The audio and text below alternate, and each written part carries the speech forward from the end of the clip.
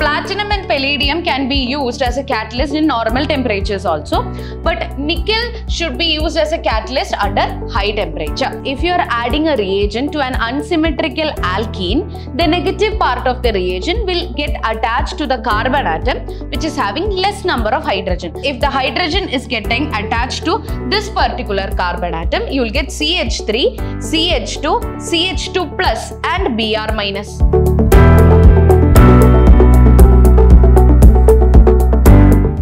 Hello everyone, this is Ambili Unnikrishnan from the Department of Chemistry, Vidhyaashram School of Excellence, Mysore.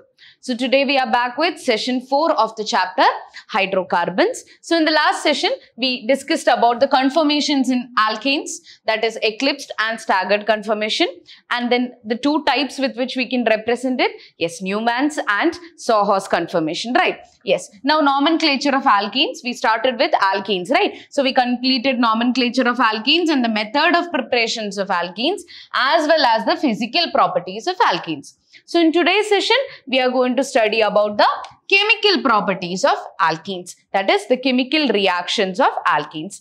So let's begin with the first one.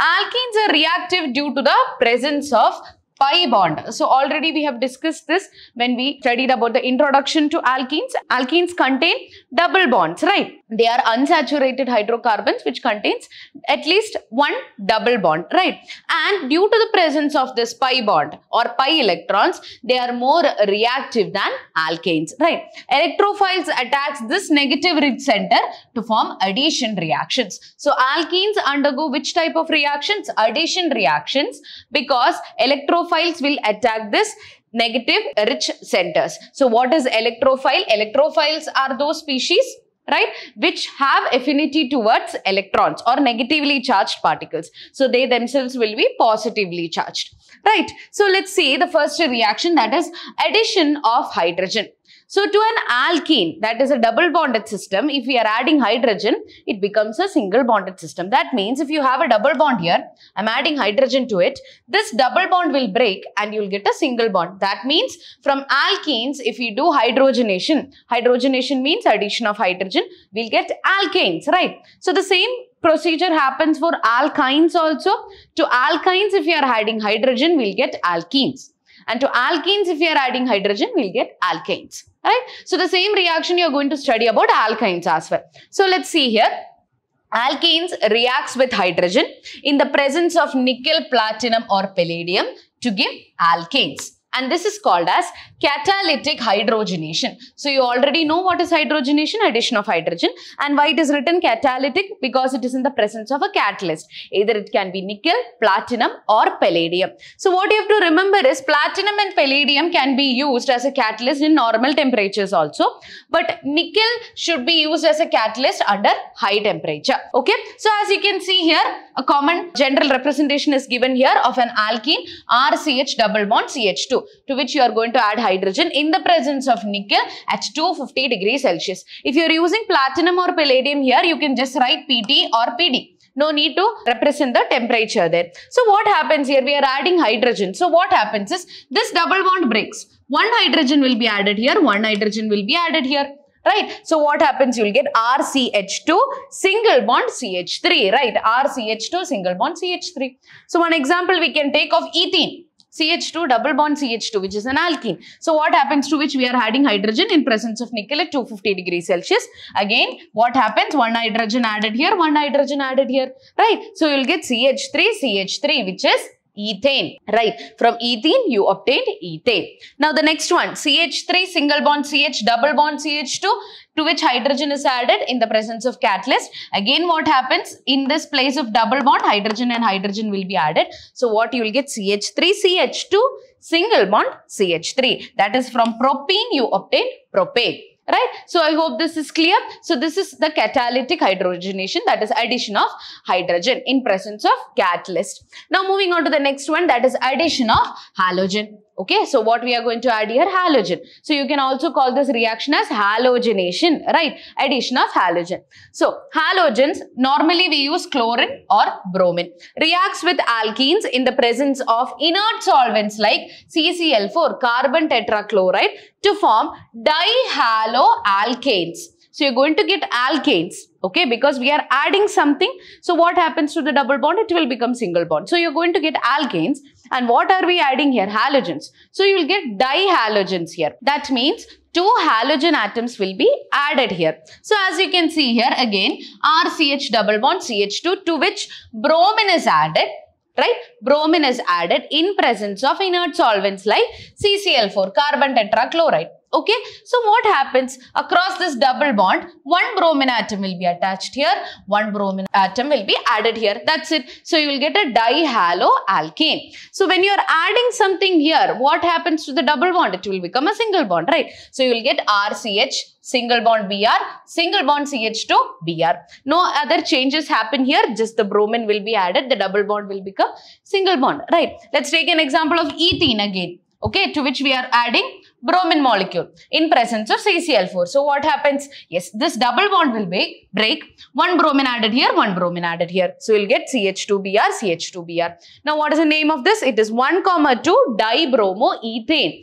Right. This main chain is ethane to which two bromine atoms are added. So it's on the first carbon and second carbon. So 1 comma 2 dibromoethane. Right. Now the next one propane to which we are adding one molecule of bromine in presence of CCl4. One bromine added here, one bromine added here and what will happen? The double bond will become single bond. So what you are getting CH3, CHBr, CH2, Br. So what will be the name of this? It is 1, 2, 3. This is how you number it, right? It's the branch which we have to consider. So what you are going to get 1 comma 2 dibromo but it is propane, right? 1 comma 2 dibromo propane. So this is addition of halogen. Now moving on to next one, addition of hydrogen halide. This is a very important reaction, addition of hydrogen halide.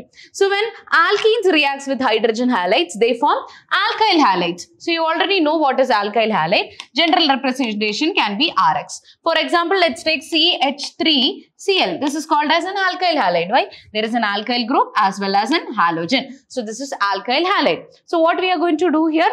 Addition of hydrogen halide. So hydrogen halide means what? We can represent it as HX. That means it can be HCl, HI, HBr, etc. Right?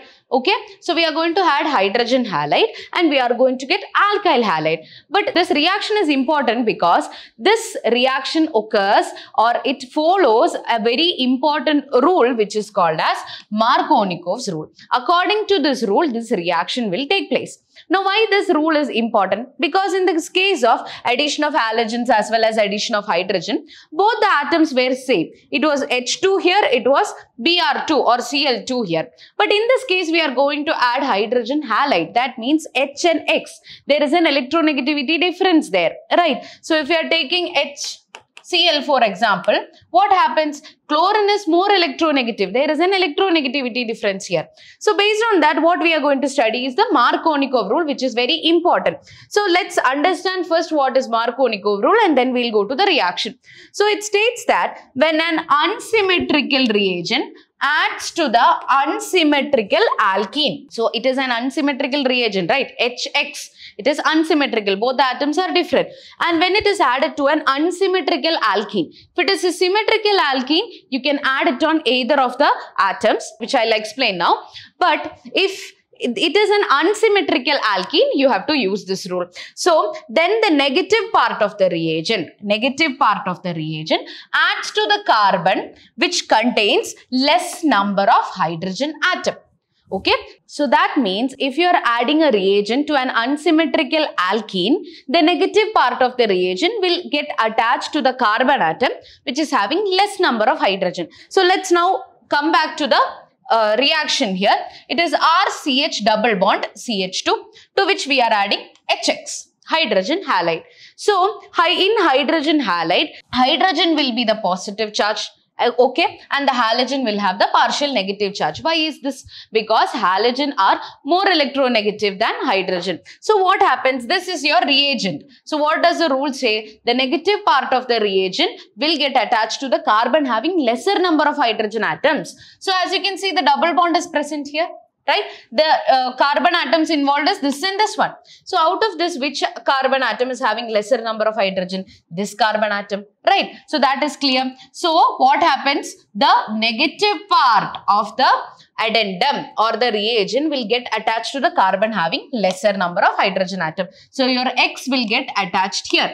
Now if X is getting attached here, See, if the X is getting attached here, what will happen to the hydrogen? Hydrogen will get attached to the adjacent carbon atom. So, hydrogen will get attached here. So, what will be your product? RCHX and the hydrogen will be attached here. So, you will get CH3. Understood? So, that is the rule. So, let's take the example of a symmetrical alkene here. CH2 double bond CH2. It is ethene. So, in this case, is there any confusion? No, because either you can add the H here or Br here because it is a symmetrical alkene. If it is unsymmetrical, what you have to remember, the negative part of the reagent, that is your halogen part, should be attached to the carbon having lesser number of hydrogen atoms. Okay, so I hope that is clear. One more example, let's take of propene. CH3, CH double bond, CH2, to which we are adding HBr. So what happens? HS partial positive, bromine is negative one.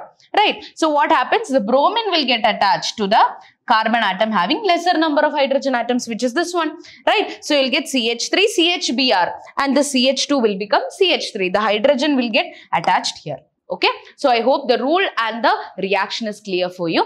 Right. So now let's understand the mechanism of this particular reaction that is addition of hydrogen halide. So the reaction takes place in three steps. The first step is hydrogen bromide dissociates to give H plus and Br minus. So we are going to take the particular example of HBr, hydrogen bromide. So what happens here? HBr, as I told you, bromine is more electronegative. So what happens? Bromine will get partial negative charge and hydrogen will have partial positive charge. So it will dissociate into H plus ion and Br minus ion. So that is the first step. Now step two, the electrophile H plus which is the electrophile here? H plus right? Electrophile means which is having attraction towards negative charge.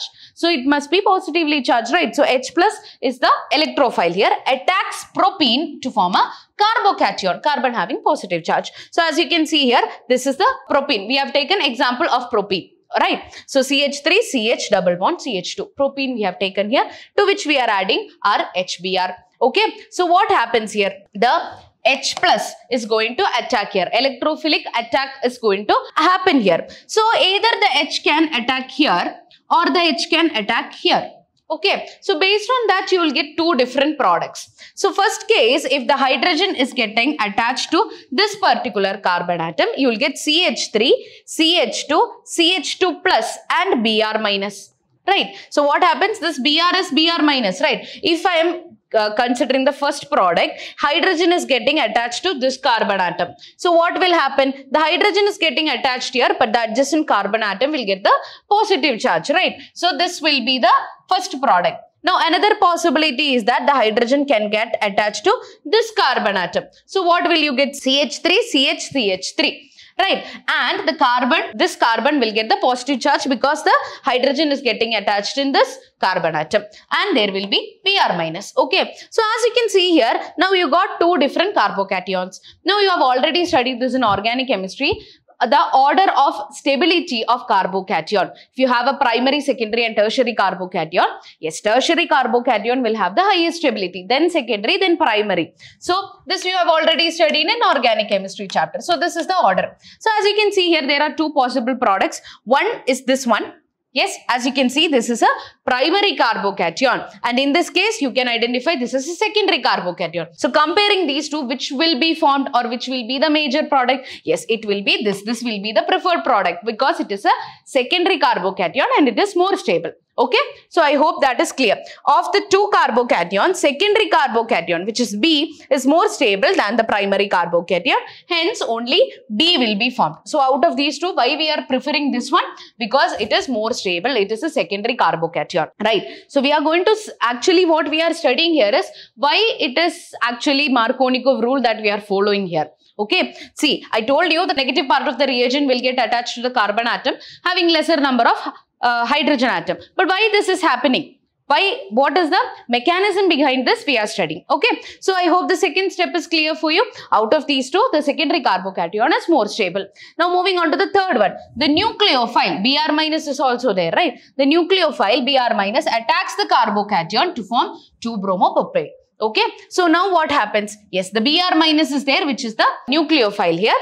Now it will go and attack the B, which is the B here. We already discussed that is a secondary carbocation. So what happens? The Br minus will get attacked here and you will get CH3, CHBr, CH3. Okay. So why this Markovnikov rule is applicable here is because the secondary carbocation is more stable. So hence what happens to this, the negative charge and positive charge, now the carbon got its valency, right? No problem. So this is the final product you are going to get here. Okay. So that is Markovnikov rule and the mechanism of addition of HBr. Now there is one more rule that you have to study which is called as the anti-Markovnikov rule. So let's see. Addition of hydrogen bromide. Specifically we are going to talk about hydrogen bromide here to propene in the presence of peroxide. Now if this reaction, the same thing if you are adding hydrogen bromide okay in the presence of peroxide that is important in the presence of peroxide catalyst takes place against Markovnikov rule. Okay. So if there is presence of peroxide, the reaction will happen in the opposite way. What that means is that is anti-Markovnikov rule. So what does that mean? Just now we studied according to Markovnikov rule, the negative part will get attached to the carbon having less number of hydrogen atom. But if there is presence of peroxide catalyst, what happens is the exact opposite will happen. That means the negative part of the reagent will get attached to the carbon having more number of hydrogen atoms. So let's see here. CH3, CH double bond CH2 and we are going to add HBr here. So according to Markovnikov rule, what happens? Hydrogen should get, that is bromine, which is the negative part, should get attached here. That is what we have studied now. But as you can see, there is presence of peroxide here. So what happens? It will follow anti-Markovnikov rule and the negative part will be attached to the carbon having more number of hydrogen atom. So this is the product you are going to get CH3, CH2, CH2, Br. Okay. So instead of attacking here, it will attach to this carbon atom having more number of hydrogen atom. Okay. So it is called as anti-Markovnikov rule or peroxide effect or Kharasch effect. Okay. So I hope Markovnikov and anti-Markovnikov rule is clear for you. Now let's understand the mechanism for peroxide effect or the anti-Markovnikov rule.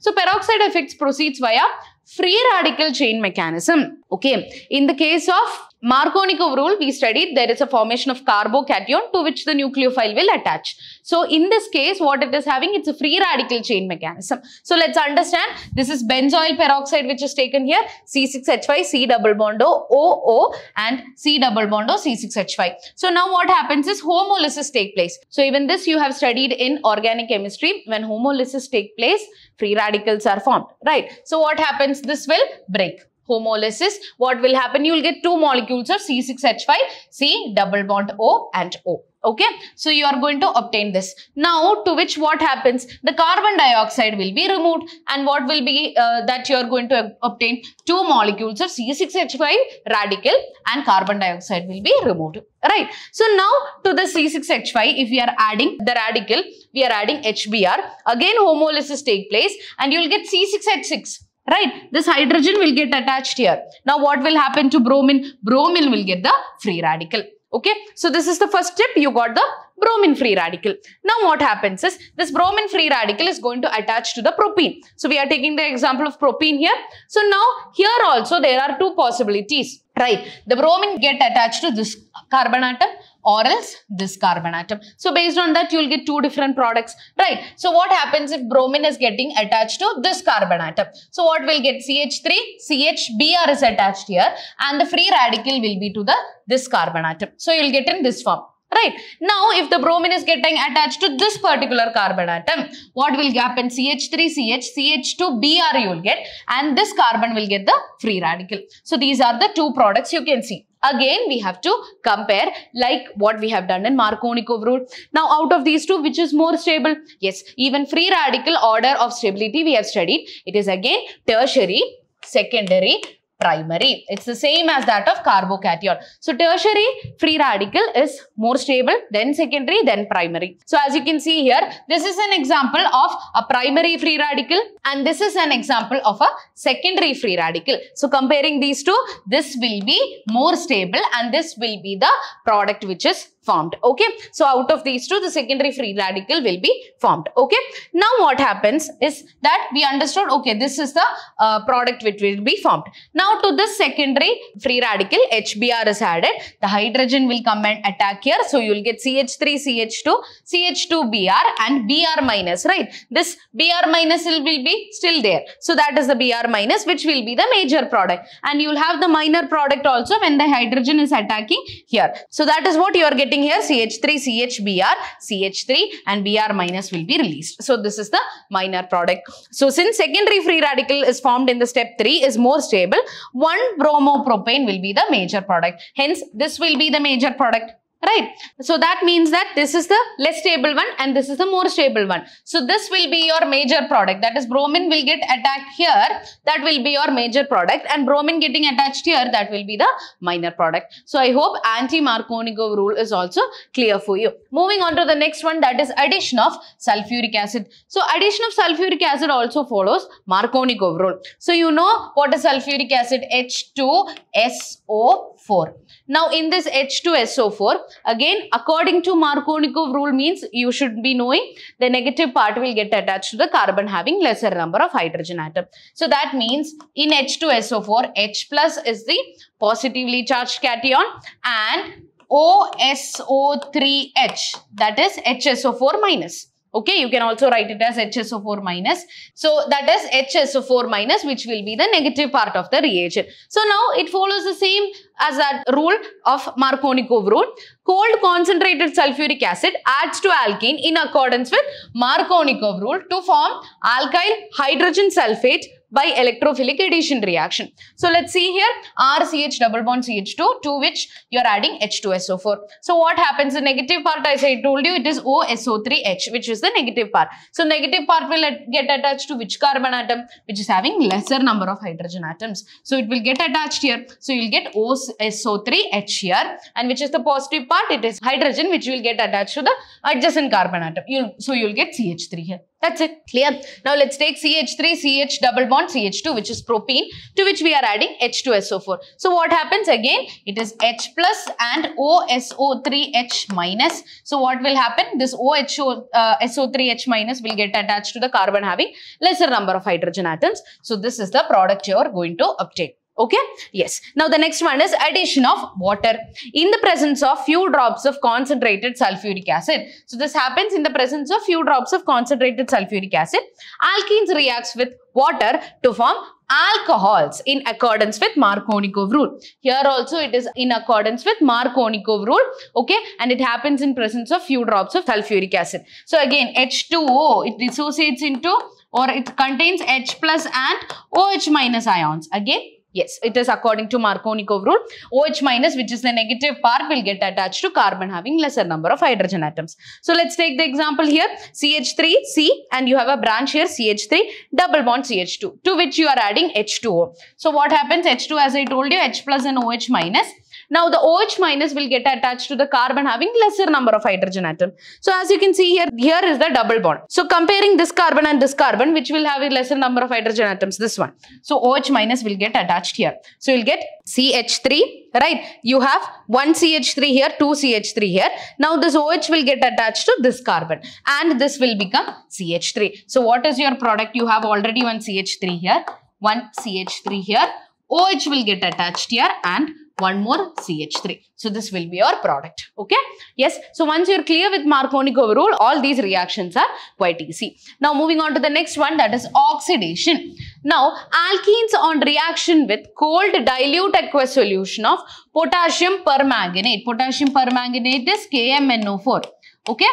So alkenes on reaction with cold dilute aqueous solution of potassium permanganate. So the name for this particular reagent is Baeyer's reagent. So it is important to know what is Baeyer's reagent. You can get it for one mark as well. What is Baeyer's reagent? So you should be knowing it is cold dilute aqueous solution of potassium permanganate which produce vicinal glycols and decolorization of KMNO4 solution is used as a test for unsaturation. Even that is important. So what is that product you are going to get here? Vicinal glycols okay? So i've already taught you what is vicinal and geminal right? So vicinal means you'll get the any reagent that you are adding on adjacent carbon atoms so as you can see here one OH in this carbon atom one OH in this carbon atom on adjacent carbon atoms you will get the reagent. So that means that is vicinal glycols okay?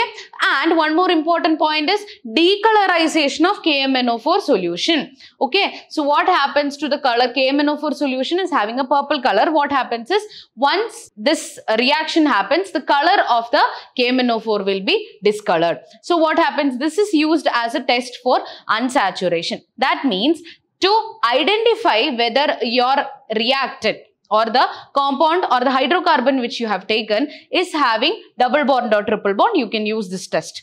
Right. So let's see. We have taken ethene here to which we have adding water in presence of dilute KMNO4 273 Kelvin. What is this water present here? It is given cold dilute aqueous solution. Right. So what happens? It's simple. OH will get attached here. One OH will get attached here. That's it. So you will get a vicinal glycol. Now the second, another method of oxidation is acidified potassium permanganate or acidified potassium dichromate. Potassium dichromate is K2Cr2O7. Okay. Oxidizes alkenes to ketones or acids depending upon the nature of the alkene and the experimental conditions. Okay. So the first one, if you are using Baeyer's reagent, you will get vicinal glycols.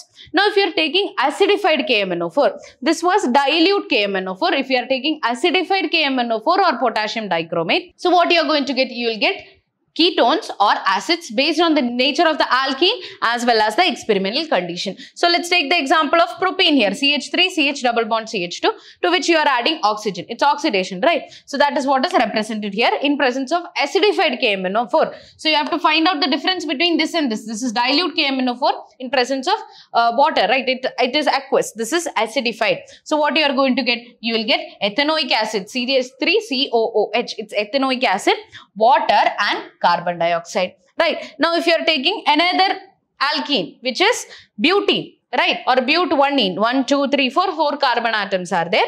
So, what happens? You will get CH3, CH2, COOH. Okay, that is you will get propanoic acid, water and carbon dioxide. Now, if you are using but-2-ene and adding oxygen that is oxidation. In presence of acidified KMNO4 you will get two molecules of ethanoic acid. What happens? One OO will be added here. One uh, two molecules of oxygen will be added here. So you'll get CH3COOH and CH3COOH two molecules of this. So I hope this is also clear. So now moving on to the next reaction that is ozonolysis. Okay so ozonolysis from the name itself, you can identify it's something related to ozone, right? So what is ozone? It is O3, right? So let's see. Ozone adds to alkenes to form an ozonide. So first you will get an intermediate stage which is called as ozonide, which is hydrolyzed with zinc and water to give aldehydes or ketones. So this reaction is called as ozonolysis. So let's take an example. So you have propane to which we are adding ozone. So what happens here? As you can see the double bond is here to which the three atoms of oxygen will be added. So as you can see CH3 will be sealed here and to this double bond the three atoms of oxygen will be added. So as you can see here CH here CH2 here that will remain the same. You'll get one oxygen here, one oxygen here, one oxygen here. Okay. Now what happens is, yes, that is, this is the first intermediate that is formed, which is the ozonide. Okay. Now from ozonide what happens? It When we hydrolyze it in presence of zinc and water, what will happen is this bond will break in this manner. So what is that you are going to get? CH3CHO Right, in this part you will get CH3CHO and what you are having here CH2O that means HCHO it is an aldehyde right. So CH3CHO aldehyde again HCHO it is another aldehyde and this oxygen will combine with the zinc that we are using for hydrolyzing okay. So you will get ethanol and methanol here. So let's take one more example CH3 CCH3 and double bond CH2. So as you can see the double bond here to which the three atoms of oxygen will be added and you will get the ozonide. Okay. So as you can see this part will still remain the same and across this double bond the three atoms of oxygen will be added. 1, 2 and 3. Now what happens as we have done in the same uh, in the previous uh, example this part will be broken. Now what will happen in presence of zinc? Okay. So what happens? You will get CH3, C, CH3 and this o, o is there. That means what? You're going to get a ketone, right? So CH3, C double bond O, CH3, that is ketone, okay? Which is propane 2 on. Now what is present here? It's the same as that we got here. CH2O that is HCHO that is methanol. So this is how you can write the mechanism or you can see the reaction in this form. Okay. So this is ozonolysis. Now the last one is polymerization. Okay, it is called as polymerization. When alkenes are heated under pressure in the presence of suitable catalyst, they undergo polymerization to produce polymers. So polymerization means what? Production of polymers. So the simple compounds from which polymers are made are called as monomers. So a number of monomers will combine together and form polymers. For example, we are taking ethene here which is heated as 200 degrees Celsius under 1500 atm pressure. So, under high pr pressure and temperature in the presence of oxygen catalyst polyethene is obtained. So, what you can see here ethene is taken okay n molecules of ethene is taken. Yes under high temperature and pressure in the presence of catalyst you obtain polythene as you can see here it is written ch2 ch2 and n times that means this is a monomer which repeats n times, you will get a polymer. As you can see here, another example, CH3, CH double bond, CH2, that is propene, which forms polypropene. So this is repeated n times. This is a monomer which is repeated n times, you will get the polymer. Okay. So this is polymerization under high temperature and pressure and in the presence of a catalyst, you will obtain the corresponding polymer. So I hope the chemical reactions of alkenes is clear for you. So in the next session, we are going to start with alkynes, the physical properties, chemical properties, nomenclature, methods of preparation, all of that we are going to do for alkanes as well. So I hope the concepts that we have discussed in this session is clear for you. So that's all for today. Thank you.